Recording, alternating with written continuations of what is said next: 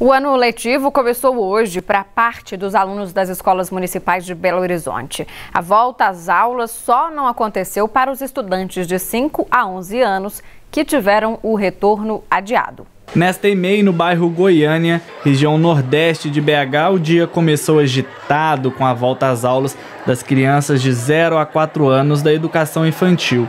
Tarsila é mãe do Luiz Fernando e vê esse retorno como necessário para o desenvolvimento dos pequenos. A criança precisa para socializar, né? Com outras e é muito importante isso. 534 crianças estudam nesta unidade.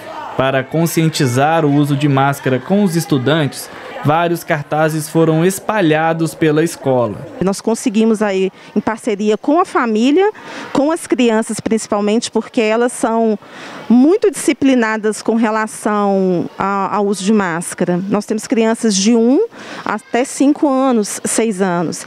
E as crianças maiores, elas é, foram bem, aderiram bem mesmo à questão do uso de máscara, lavar as mãos e até o distanciamento, que para a gente foi uma surpresa.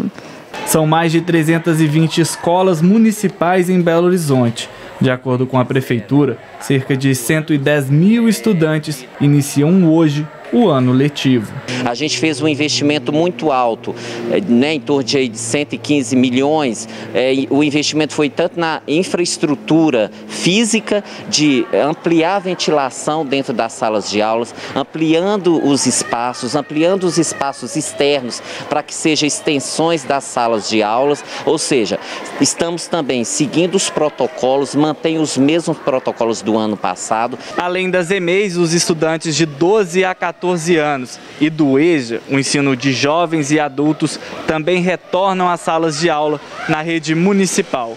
Já os alunos de 5 a 11 anos só voltam no dia 14 de fevereiro. A decisão do adiamento foi tomada para que os pais ou responsáveis levassem esse grupo para se vacinar contra a Covid-19. Mas, segundo a prefeitura, a adesão continua baixa. A gente tem contado aí com a sensibilização tanto da mídia, das próprias escolas que têm nos ajudado, tem sido a, a extensões dos postos de vacina, mas infelizmente a, a gente não tem alcançado o número é, na sua totalidade das crianças que são convocadas para vacinação. É, tem que vacinar, né, pessoal? E o adiamento, a volta às aulas para os alunos de 5 a 11 anos, ele foi contestado por uma vereadora aqui da capital, mas a Justiça manteve a decisão do prefeito Alexandre Calil em adiar o início das aulas para esta faixa etária. Já o Ministério Público de Minas Gerais informou que vai se reunir na tarde de hoje com a Prefeitura da capital para discutir aí o caso.